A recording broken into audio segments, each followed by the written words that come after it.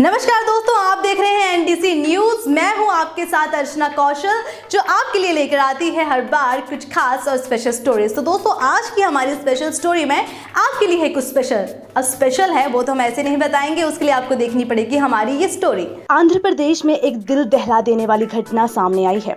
बेवफाई से बौखलाई एक प्रेमिका ने अपने ही प्रेमी के बेटे के साथ ऐसा किया कि जानकर रूह काँप उठेगी।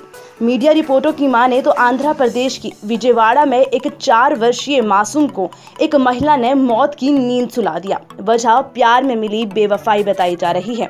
आरोप है कि महिला का मृतक के पिता के साथ अवैध संबंध था, लेकिन जब महिला ने उसे अपने रिश्ते को नाम देने के लिए कहा तो शख्स ने उसे छोड़ दिया, जिसके बाद से महिला तनाव में रहने लगी। प्रेमी से मिली बेवफाई के बाद महिला ने उसके चार साल के बेटे को मारने का फैसला कर लिया।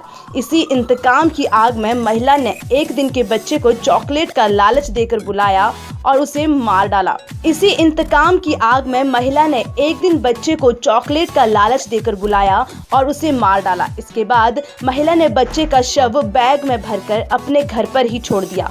फ़िलहाल पुलिस ने महिला को गिरफ़्तार कर लिया है और इस संबंध में उसे पूछताछ की जा रही है।